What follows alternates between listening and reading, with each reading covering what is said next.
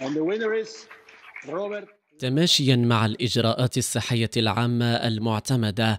الاتحاد الدولي لكرة القدم فيفا يعلن أنه سيقيم حفله السنوي لتوزيع جوائزه بطريقة افتراضية في السابع عشر من يناير المقبل. أعلى هيئة كروية في العالم أفادت من خلال بيان لها بأن البث المباشر للحفل سيتم من مقر الاتحاد الدولي في زيورخ السويسرية افتراضيا وتشمل جوائز فيفا فئات أفضل لاعب ولاعب لاعبة وأفضل مدرب ومدربة وأفضل حارس مرمى وغيرها.